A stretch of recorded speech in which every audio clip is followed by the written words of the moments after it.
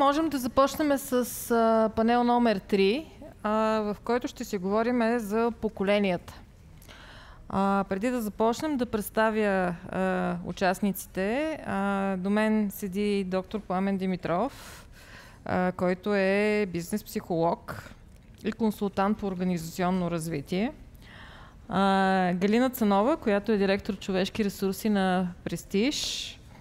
А, мисля, че всички имат в чантичките, да, вафлички. А, Деница Стоянова, която е ръководител човешки ресурси на кластър Балкани в Астразенека. А, и Гергана Раковска, представител на Фундация на бизнеса за образованието. А, ще си говориме, както казах, за поколенията.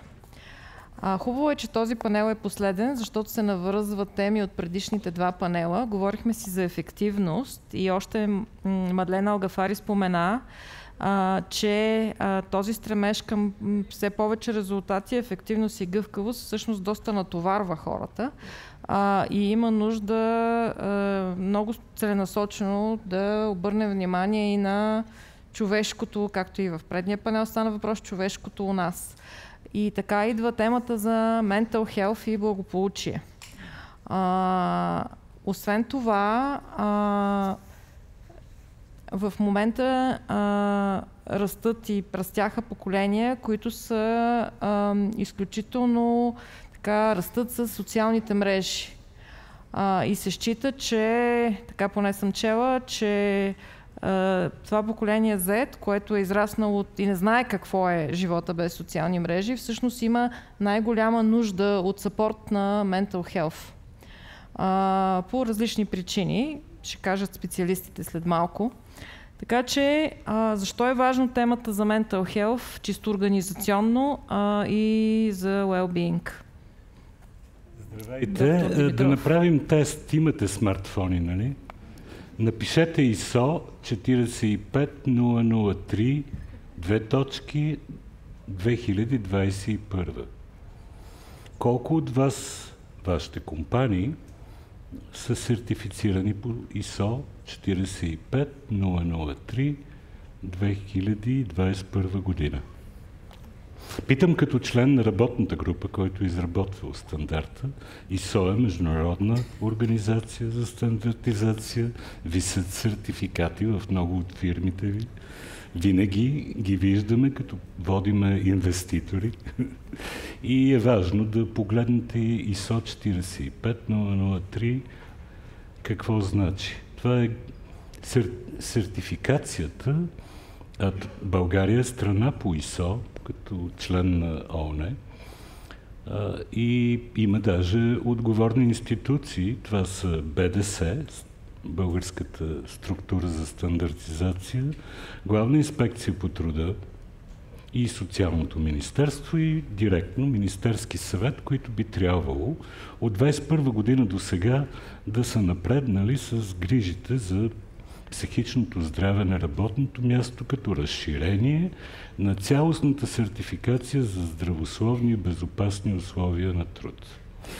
Благодаря на Венци, който ме покани да представиме този стандарт точно на страниците на списание менеджер. Иначе аз съм клиничен психолог, по-скоро медицински, както се казва. Това включва е, клинична психология, невропсихология и здравна психология от малкото регистрирани консултанти по организационно развитие. Това се случва малко по-далеч от тук и същото време съм от 42 години практикуващ ежедневно терапевт в една парадигма, която наричаме екзистенциална терапия. Утре е 93-ти рожден ден на един любим наш автор, Арвин Ялум, Сигурно сте попадали на книгите ми. Това е нашата школа.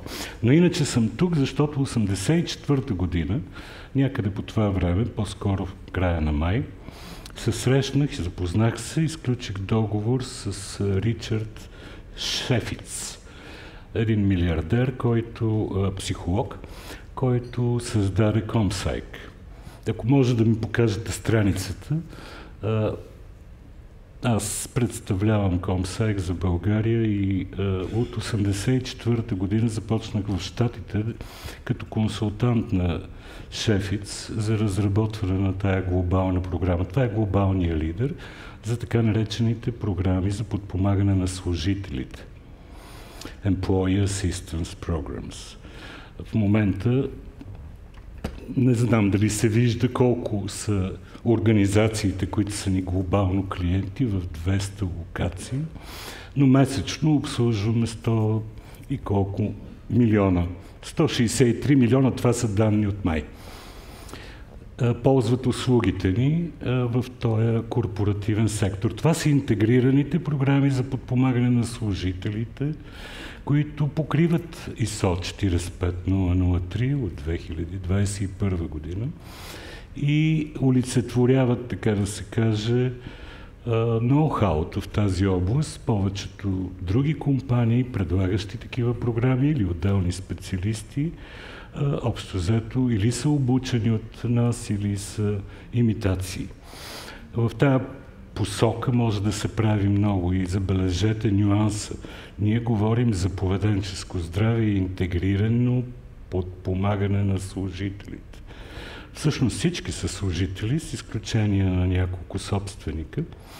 И обикновено с шефите се шегуваме, че а, има забранени думи при нас и една от тях е HR.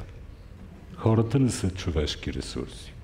Те са партньори, субекти, които съгласуват труда, който дават. Те са работодатели на онези, които притежават организационните условия и юридическите структури, за да може тази работа да доведе до споделени резултати и отчовечаване, както стана дума за ефективността. Друго нещо, което споделяхме 1984 година, тогава започна Компсайк и аз бях млад тогава, друго поколение, но и днес тези програми България имаме 120 компании в момента, този месец, всеки месец има справка, както е тази глобалната, така и за България. Нямам право да ви ги кажа, но някой, ако ме пита отвън, ще споделя примери. Някой може и от вас да, да има така. Кои сте вие? А, добре. Ама скоро никой не е идвал от вас. Голямата, голямата тема на Комсайк е интегрираните програми за подпомагане. Защо? Какво включваме? Това не е само психологическа и поведенческа помощ. Да, класическото е, че всеки служител и неговите близки, тук поколенчески аспект да засегна, това значи партньори в живота, съпрузи, съжителство, родители и деца имат достъп до нашите услуги.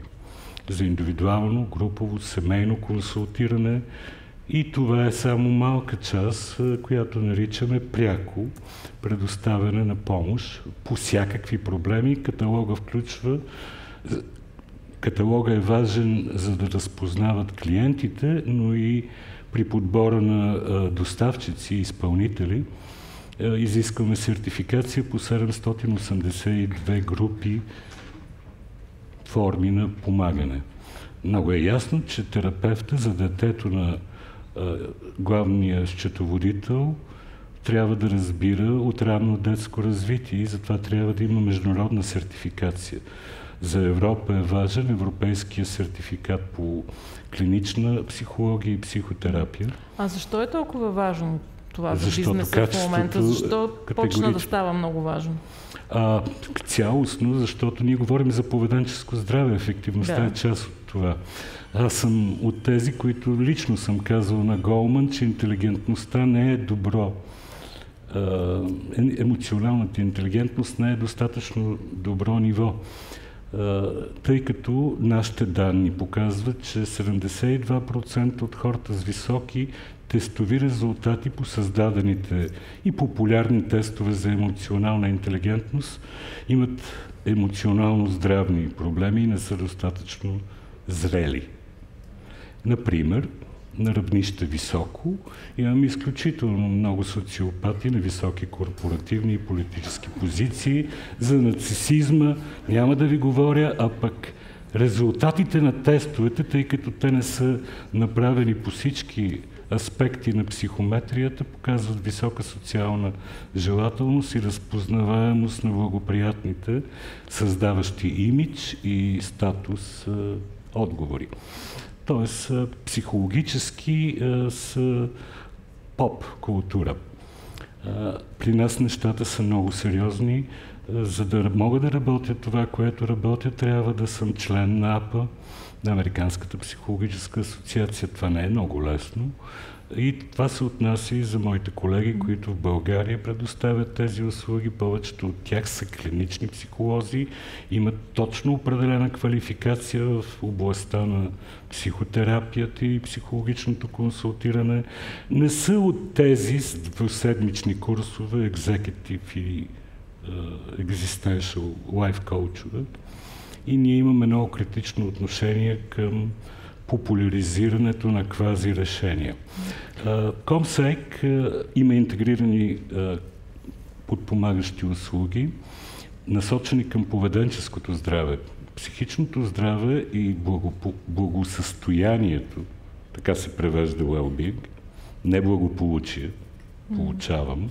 Не, състоянието ми е а, субективно и обективно проверено и то а, с включва много неща, като това, което е компонент, всъщност гъвкавостта е компонент на това, което наричаме издръжливост, резилиенс. И а какво правите програм... с, мисъл, без да споменавате клиенти? Много неща правим. Примерно най-широко... Дайте пример, просто аудиторията да Ами да пример е този. Всеки служител, който а, знае, ако си направят труда колегите, че има такъв договор неговата компания, може да ме намери за първична, първично събеседване и преценка какъв план да му предложим. Всеки от служителите и техните близки има достъп по даден проблем до 5, 6, 8 консултации може да се получат в, в рамките на 72 часа. След заявката. Това е индивидуално консултиране, семейно но да речем може да бъде и групово, екипно, защото интегрираните услуги включват три неща, които нямат другите. Финансово консултиране от високо квалифицирани специалисти. Всичко свързано с имотно състояние, инвестиции, продажби, купуване кредити е част от подпомагането на служителите и често пъти е свързано, няма да казвам имена на компании, но някои от тях качват заплатите и хората почват да бъдат охажвани от бързите кредити. Имаме всички форми на хазартна и друга зависимост и затова е много важно да се работи ръка в ръка между финансовите консултанти.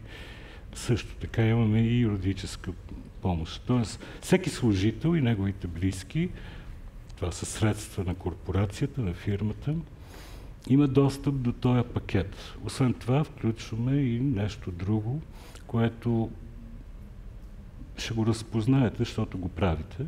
Нарича се Organizational Support. Менталитета на този вид програми, както са замислени, е, ние сме организационните доктори. Правиме асесмент центрове, тренинги, коучинг и всичко друго, което ни позволява да кажем, че бъдещото име на HR е Employee Assistance или Employee Relations. А има ли, примерно, някаква тенденция да ви търсят хора, които са от определен тип поколение? Когато... О, да. Нека го кажа преди самия факт, че могат да участват близките, не да. само самите служители. Това води до това, че 30% от консултациите, индивидуалните, през тази година не ги правя лично аз, имам доста широка мрежа, са свързани с проблеми в детското развитие и ученическа възраст. Да, с много спектри, например, зависимости mm-hmm. при юношите, тинейджерите. И всичко това позволява да срещаме поколения. Другото, понеже виждам и тук много млади хора, навсякъде, където имаме так, такива, те са 120 с абонаментен план за две години потвърден напред, тъй като тия програми не са по повикване. Хората имат договор с нас и, и те продължават тези договори минимум две години, подновяват се е, на всеки 6 месеца може да настъпят корекция, например, в е, обема сесии, които покрива е, работодателя или не, наемащия работодатели. А в вашите компании, в AstraZeneca и в Prestige, има ли такъв тип програми за mental health и well-being? Мога да започна аз, тъй като докоснахме да. темата за Employee Assistance Program. Имаме такава програма от ноември с глобален партньор, друга компания. Аз лично бях много доволна да видя, че колегите в пазари като България, Сърбия, Хрватска, Словения са много отворени към тази услуга вече. Младите Тоест... хора ги ползват Абсолютно. три пъти повече, отколкото колеги с над 15 години стаж. Абсолютно. Това е едно нещо, което исках така да проверя след така няколко месеца по-късно. Едното нещо, което много ми допадна е, че младите хора го ползват много, но от друга страна пък причината да внедрим тази програма е, че тя е може би един от, една от хубавите придобивки, която е отворена за всички поколения. Mm-hmm. Тоест тук имаш три различни стълба. А, може да се консултираш по финансов, юридически или психологически проблем и тук вече няма поколенчески разлики. Всеки има нужда от подобен, от подобен инструмент. И другото, което така ми направи много силно впечатление, поглеждайки назад статистиките за тия месеци от ноември насам, най-често срещаните а, така, въпроси са свързани с психологическа подкрепа. Тоест, нашите пазари, към които аз лично бях скептично настроена, доколко ще са отворени за една такава услуга, вече озряваме като общества. Това е ключов аспект на социал, корпоративната социална отговорност. България, за съжаление, а, психотерапевтичните и психологически грижи и услуги не са обхванати от националното ни здравеопазване и това води до дискриминация, институционализирана в сравнение с европейските ни партньори и другите страни, към, с които се, се измерваме. И работодатели, отговорни а, собственици, менеджери на компании, които имат такива програми, дават невероятен принос, който веднага се отразява. Ние имаме наблюдения а, и световни на Компсайк, и локални, тъй като ние сме много малки, 120 спрямо 78 хиляди компании и клиенти. Но това, което се случва и в България и глобално, е, че мерим а, така наречения ROI, Return on Investment. Парите, които са инвестирани, а, това са доста средства, тъй като а, това отнема време и е дългосрочна програма, няма как да се прекъсне. Всички, с които сме започнали, не са се отказали и докладват, тя варира, разбира се, тази измерителна система, но обикновенно надхвърляме 300%. Тоест, това се измерва с економия от средства за лечение, тъй като сме го предотвратили. Част от интегрираните ни услуги се наричат здравна навигация. Здравна навигация значи, че имаме специалисти, които познават всички болнични заведения. И дори човек да има здравно осигуряване и всичко друго, ако се заяви пред, през програмата, може да получи грижи. Например, по време на COVID евакуирахме хора, които не вярваха на българските здравни заведения. Евакуирахме ги в Виена, Истанбул и на други места. Това е част, не само за експатите говоря. Разбира се, това обхваща и по-меките форми, тъй като а, когато кажем психично здраве, говорим за онази част, с която работи общата и клинична психопатология. Там клиничните психолози работят заедно с психиатри. Няма как това да бъде наивен магистър организационна и трудова психология. Това изисква високо ниво на квалификация, за да предоставиш тия грижи. И това, което се случва в тия интегрирани програми, и тук спирам, е, че знаеме, че тези инвестиции се възвръщат, качва се с пъти лоялността, загубите от отсъствие заради медицински или други проблеми. Знаете, когато не се третират поведенчески проблеми, свързани с меката част на психичното здраве, касаещи отношения в семейството, интимната сфера, те се психосоматизират и отиват в физическото здраве. Знаете, социалните заболявания и там изчисленията показват, че наличието на такава програма и то дългосрочно, постоянно, устойчиво, прави големи економии, както на самите служители, така и на компаниите в областта на нуждата от скъпи лечения по-късно и медикаментозни разходи. Разбира се, това се допълва и с много други неща. Ангажираност, мотивация, лоялност, както казах, към компанията, желание да се ползват и другите компоненти, защото всеки може да получи, освен психологическа помощ, може да получи доста добро ниво на квалификация и преквалификация. Така че обхвата на този вид програми зависи от готовността на хората и тук веднага да подам на поколенческия анализ малко. Всички сътрудници в компаниите, които помагат тези програми да функционират, защото ние не можем отвън винаги да знаем текущите неща, да. са млади хора, под 35 години. Те са тези, които популяризират програмата сред колегите си и по много начини ни сътрудничат.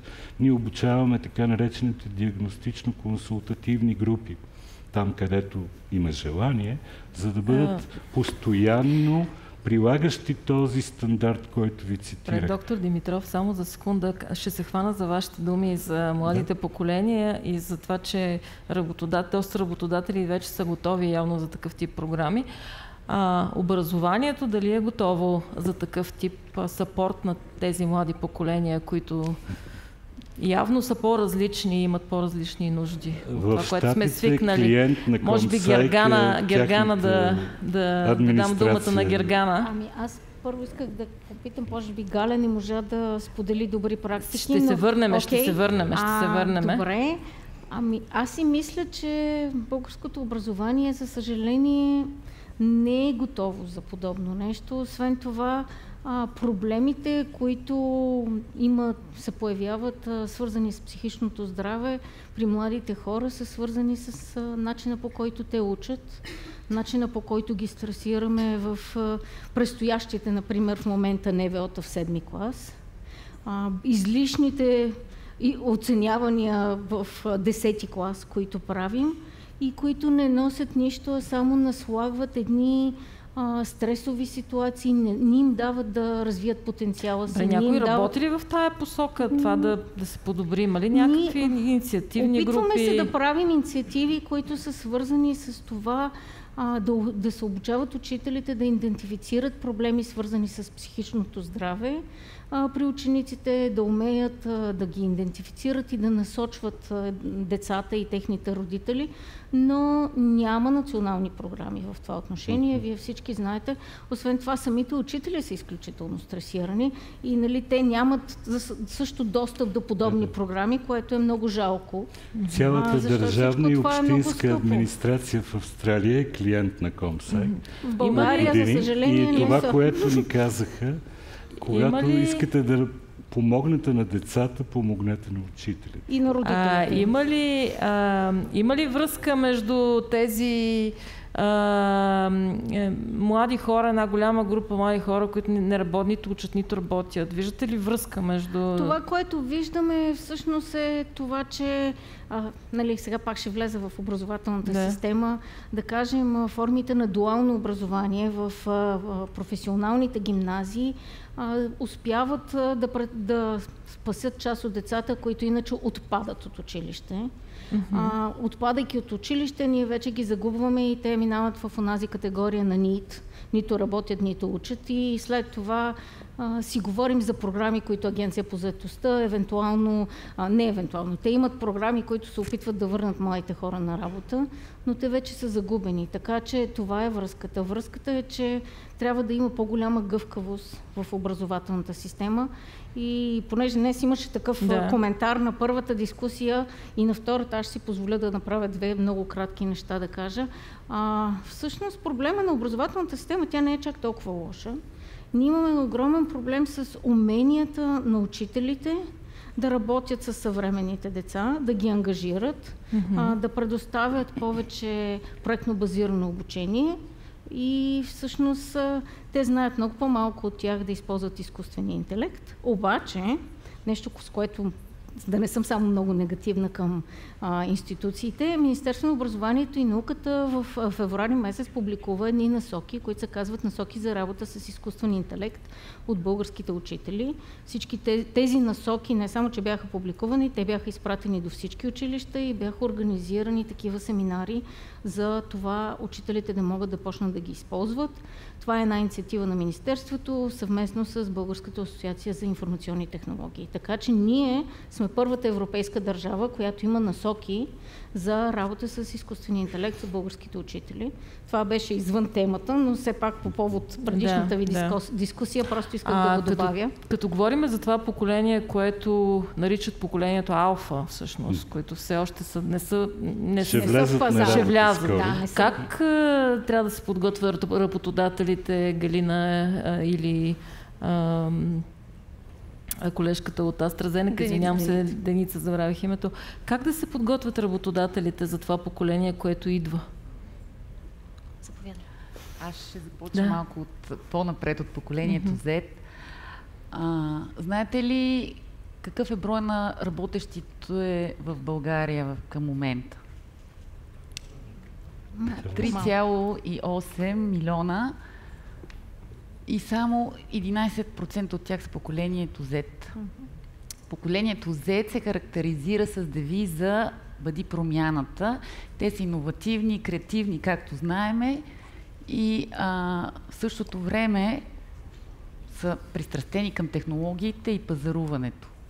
Според специалистите, това е поколението, което пазарува най-много ненужни неща. Аз си мислех, че е моето поколение, слава Богу, някой ни е изпреварил.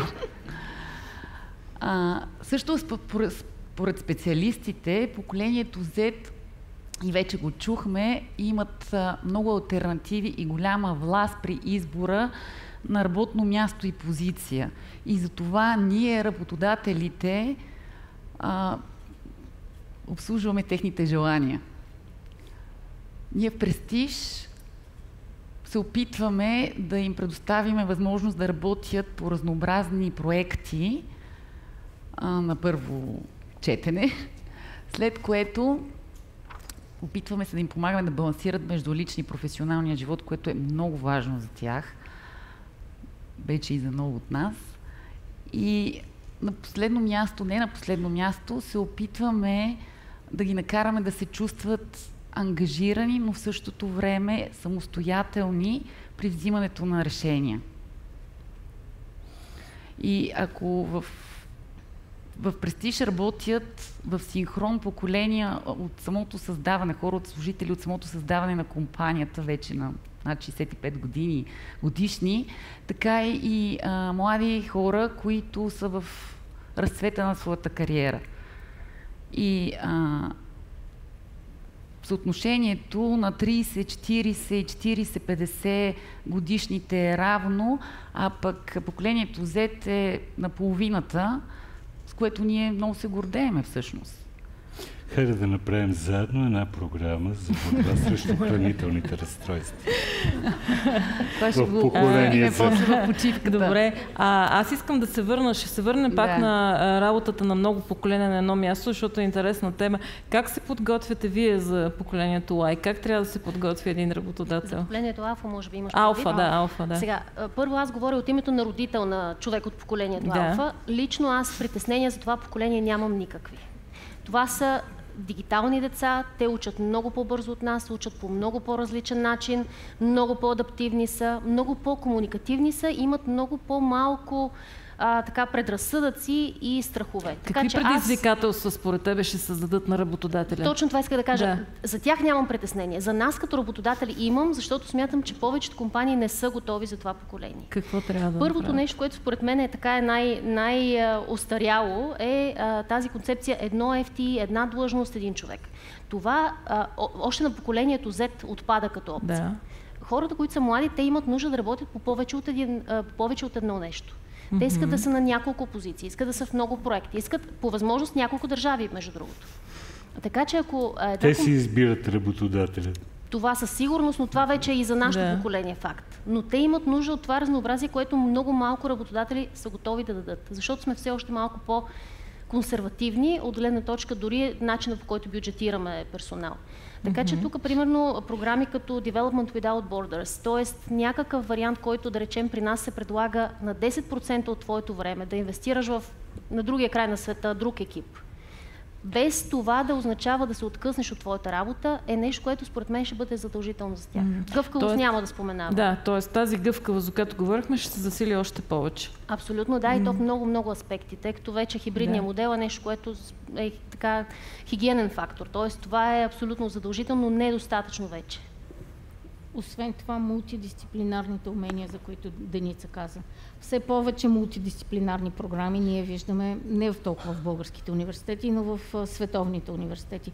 Тоест, един човек, който примерно има е маркетинг, но също това той, притежава IT умения и всъщност може да работи и с IT екипа. Това е съвременното поколение, на тях това им харесва.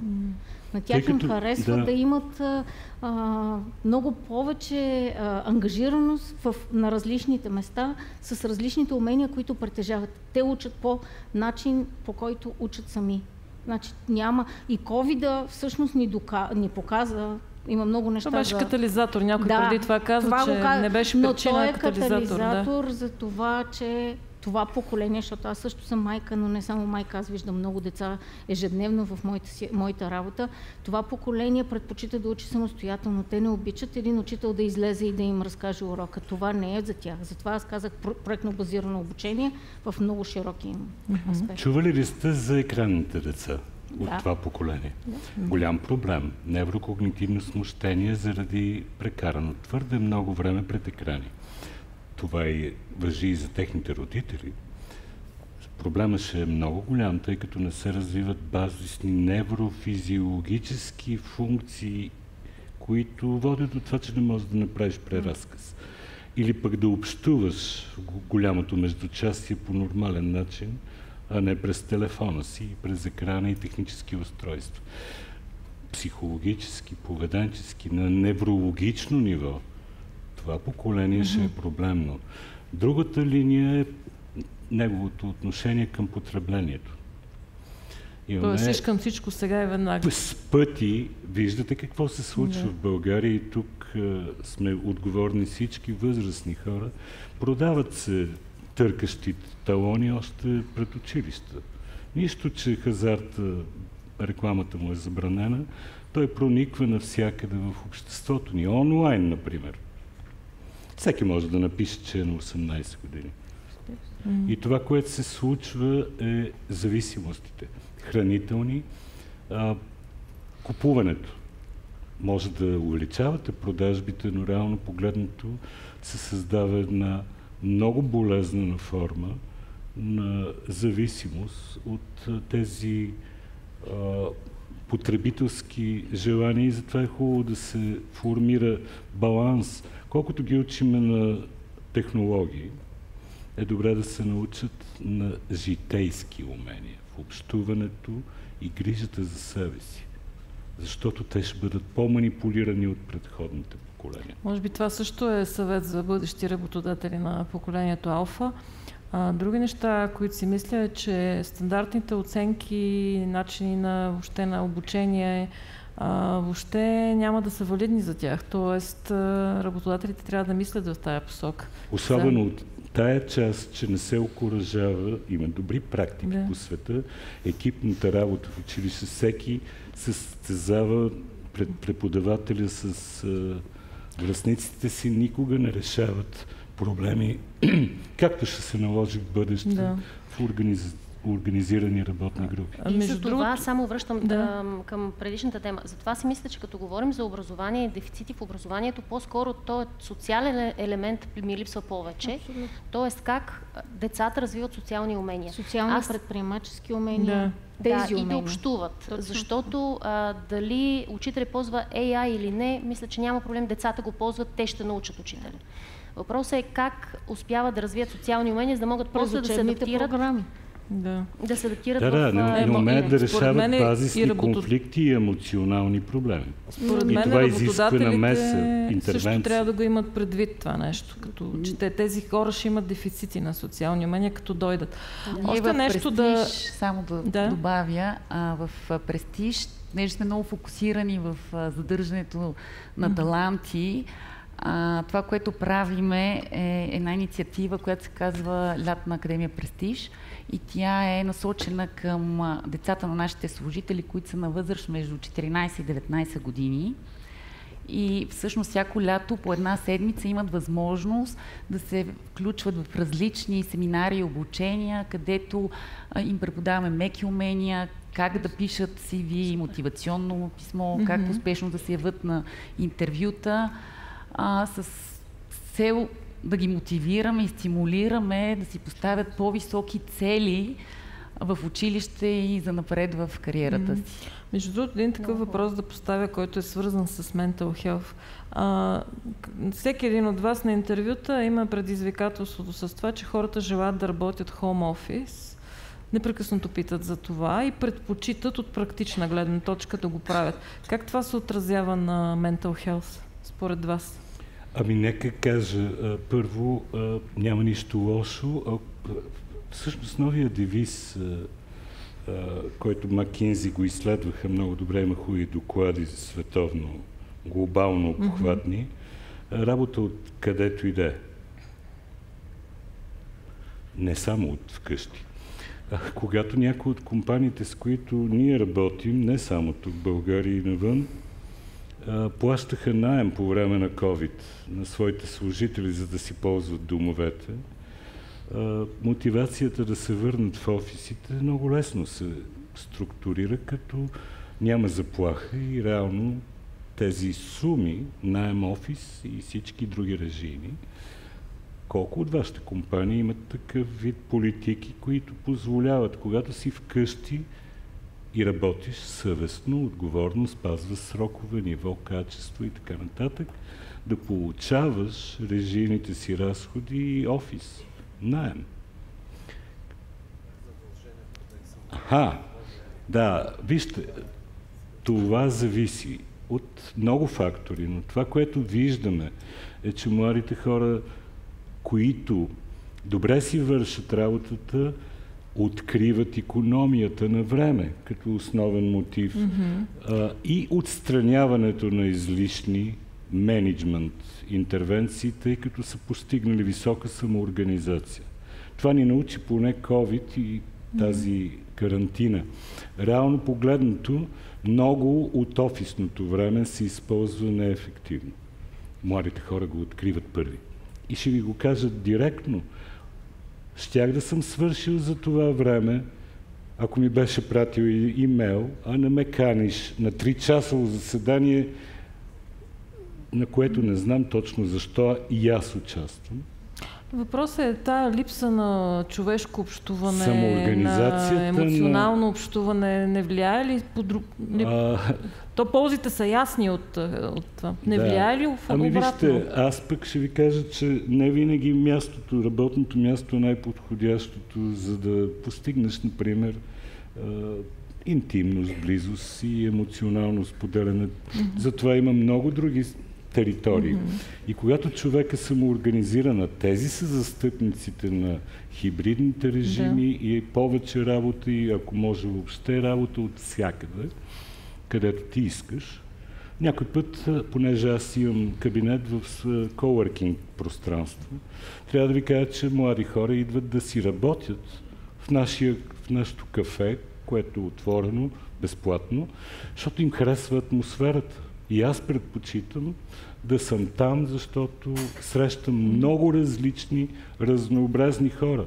А на компютъра съм във връзка с моите колеги. Mm. И това, което се случва, че те сравняват и откриват предимствата.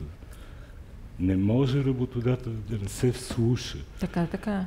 Друг е въпросът, че имаме и такива програми, в които облагородяваме, наричаме го enrichment на офиса, обогатяване с среда, която стимулира хората да се върнат там. Например, имаме така наречените, те са триар. Това са relaxation, reflection rooms. За да приключим разговора за поколенията, в момента работят най-много различни поколения заедно. Включително има а, поколението Baby Boomers дори, а, което присъства. Това са американските стандарти, да. нашите са по-различни, някои а, си спомнят но... 96. А, как функционират тези поколения заедно? Как, как, какви съвети практически може да дадете? Само секундичка. А, какви, какви съвети може да дадете а, за така добро съжителство, ползотворно на тези поколения? Няколко на куп. Както вече споделих, в Престиж работят добър синхрон тези поколения. Да. А, и ако в администрацията ни е по-лесно да привличаме и задържаме таланти, то в производството е голямо предизвикателство и мисля, че колегите също могат да споделят. Mm-hmm. А това, кое, което правим в Престиж е, първо имаме политика на широко отворени а, врати и си, имаме, изградили сме партньорства с няколко училища, университети, техните кариерни центрове, и много често ни гостуват млади специалисти, които наживо да видят магията на любимите им бисквитки. Второ, правим стъжански програми, които са, помагат на стъжантите да развият специфични технически умения и знания а, в, а, чрез задаване на проект в екипи, в които водещи са специалисти с много дълъг опит. Mm-hmm. А, насърчаваме креативни мислене, новите идеи, така че се случват нещата. Добре. Всяко поколение дава това, което може да даде и се надяваме, че младите ще Младите са опит. страхотни инициатори на нови неща, да, за които е. ние не можем да се сетим. Въпросът е да им се даде пространство, да участват от планирането до оценката да. на всякакви такива. Точно за Може би AstraZeneca е, също да. да споделят практика Една в тази от тайните, които доктор Димитров засегна, но краткият отговор е трудно. Тоест не, не става лесно mm-hmm. това да предоставиш работна среда, която да е достатъчно добра за всички поколения, които работят. Ще дадете ли някакъв съвет? А, моят съвет е следния. Ако компанията работи върху това да създава култура на uh, diversity and inclusion, приемственост, толерантност към различията, то тогава различните поколения работят много лесно заедно, защото това е просто един от поредните признаци, по които сме различни. Така че това е целенасочено. Много е трудно само с една или две инициативи да се случи. Много а, трябва да се работи и с менеджерите, защото обикновено имаме менеджери, които са от едното поколение, менеджери на, на по-млади хора или обратното понякога. И там вече идва големия сблъсък и трябва много сериозно да се така коучват менеджерите и да се консултират за това как да преодоляват тези различия, но култура на управление на различията и това всъщност помага и за, и за поколенческите миксове в компанията. Ами, да дам думата на аудиторията за въпроси, преди да приключим.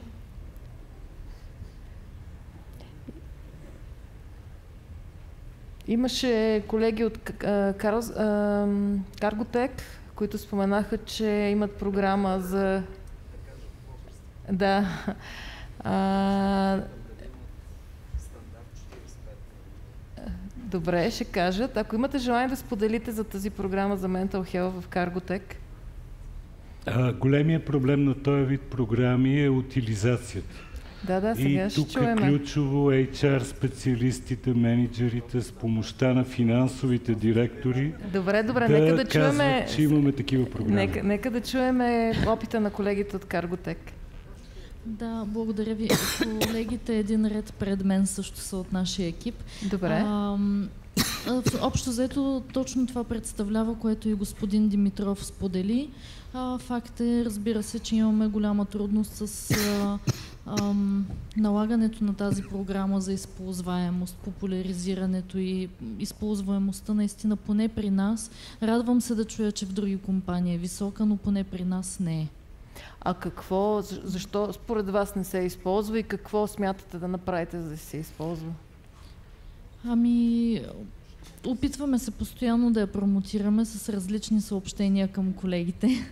А, така че ето сега това беше едно напомняне отново на следващо така наречен таунхол, на следващо събрание на всички служители да споделим отново и в разговора, не само като писмени съобщения. А защо според вас не се ползва, след като очевидно има, има такава нужда? Първо може хората да нямат нужда.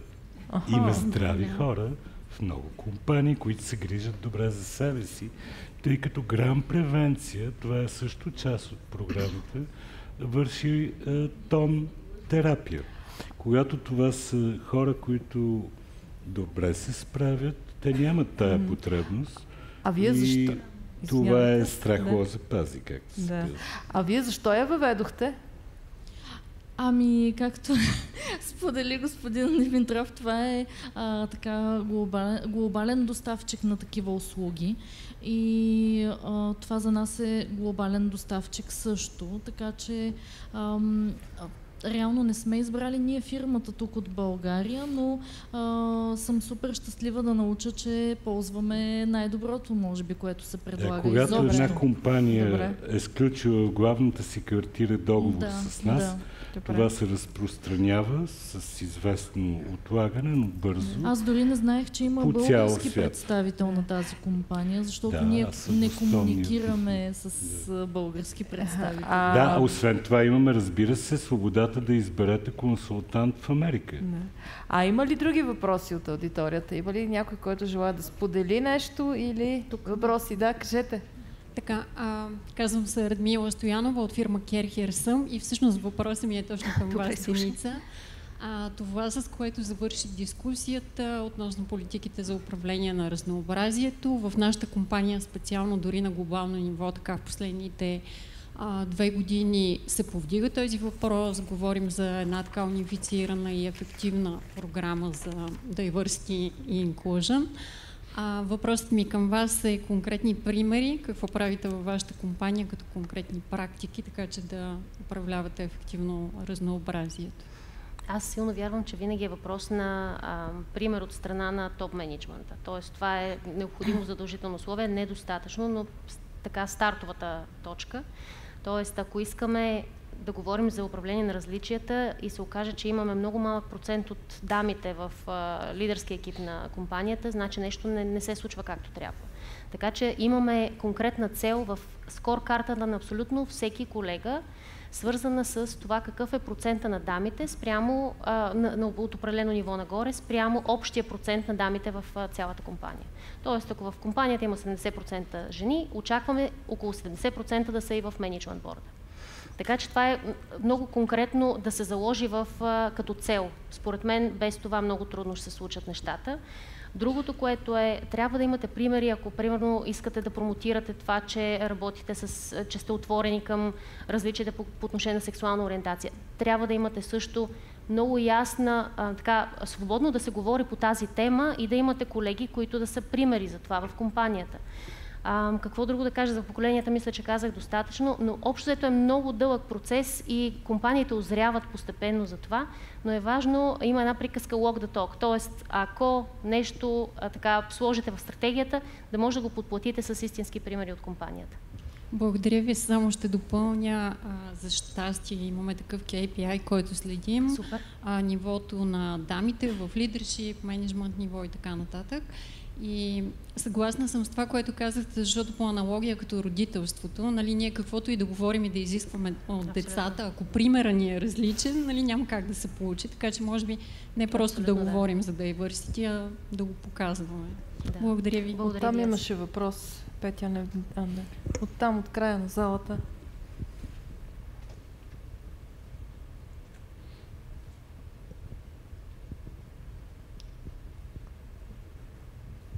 Здравейте, Майя Блажева от Лаком. Аз пък исках да споделя, че EAP програмата в нашата фирма се ползва изключително добре. Много сме щастливи. Ние въведохме EAP програмата малко след първия локдаун 2020 година.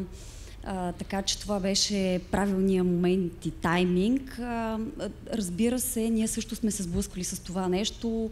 А, така хората да се притесняват в началото. А, разбира се, това е свързано с а, този фактор, който се казва уязвимост.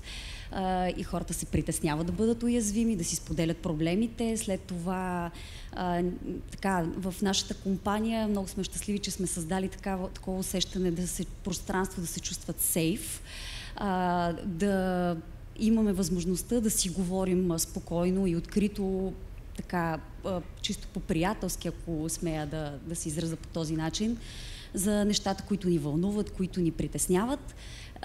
И това, което след това ние като HR екип ни представят като, като справка, всъщност е, че програмата се ползва изключително добре в, специално в българския офис. Така че имаме и, а, исках да споделя и за този пример. А вие като HR екип имате ли някакви изводи, които предполагам, че те естествено имена не споменават, но някакви организационни изводи, дейност, действия имате ли като Получаваме в справката накрая да. по-скоро като обобщение на а, тематиката, проблематиката, която има и те са, както аз обичам да се шегувам, вечните теми, свързани с тревожност, бърнаут, relationship problems. Въпросът е нещо на тази база, вие като работодател адресирали ли сте на база на изводите, които сте видели? Идват на консултация менеджери. А... А, нека го кажа в контекста на споделеното. Благодаря ви. Един от ключовите проблеми, които а, наблюдаваме, и това не е само в България, е конфиденциалността, която mm-hmm. при нас е изключително стрикна. Но хората в много други а, такива програми често пъти стича информация, включително под натиск от страна на HR и работодатели, което е недопустимо mm-hmm. в нашата професия. Не може да ми искат доклад за психичния статус на даже болнични листове, когато издаваме, те се третират само от медицинските власти. Но иначе можем да дадем 20 дни отпуска, да задължим работодателя, защото е средно и над средното нивото на прегаряне. Добре. А, ами, времето доста напредна. Нали, радвам се, че залата е пълна и, и разговорите и въпросите върват. А, искам обаче да ви благодаря а, за днешната среща и да ви поканя на коктейл отвън с помощта на IA Estate, който правиме, и да продължим разговорите на по чаша вино. Благодаря и да благодарим на спонсорите. Два пъти годишно венци да става. Добре. Да, и благодаря.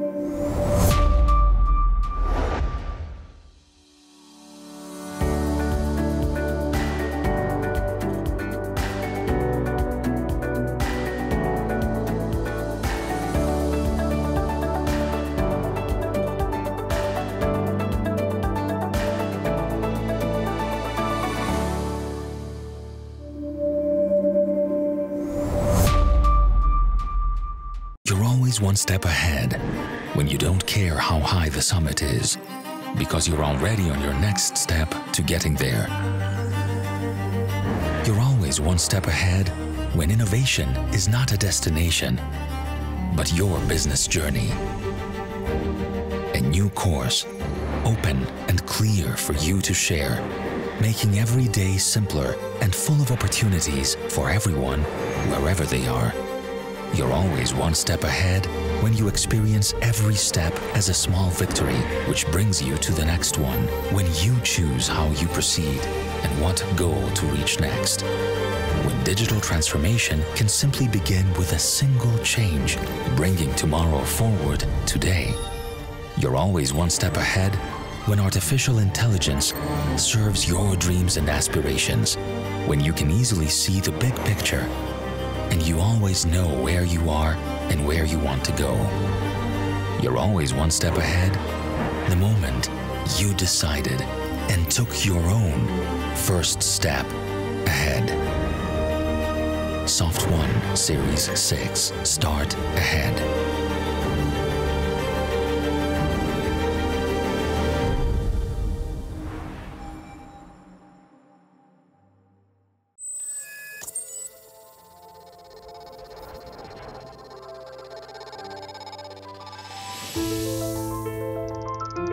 The beginning, science has been at the front and center of everything we do. Taking us to places we never thought possible. This is the adventure of what science can do. Science can change the way we see the world, change how we live our lives, make us pioneers. Science can impel us to take risks, share and collaborate. Harness data, technology and AI to accelerate change. Bring people together to achieve the impossible. Fast forward the future. Science can create novel therapies and vaccines, help people with chronic diseases live better, healthier lives. Redefine cancer care pioneer treatments for rare diseases. Prevent, modify, and one day, even cure. Make patients partners in their own treatment. Science can inspire us to keep doing incredible things. Give more and more of us access to healthcare. Transform the lives of billions of people and unite us all around the single aim of improving lives and life chances. Science can do all of this ethically and sustainably. Leading the way to a low carbon world. Making healthcare systems more sustainable and resilient. Being bold and ambitious to make people, societies, and the planet healthier. This is the limitless adventure of what science can do.